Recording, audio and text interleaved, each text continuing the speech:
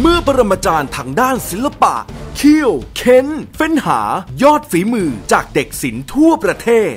จากผลงานนับพันชิ้น ใครจะเป็นสิบคนสุดท้าย ในรายการต้นศิลปะ ติดตามได้ในรายการ ต้นศิลปะ เริ่มอังคารที่ 4 มกราคม 21นาฬิกา10 นาทีทางทีวีไทยรูปแรกที่จะเปิดคือผ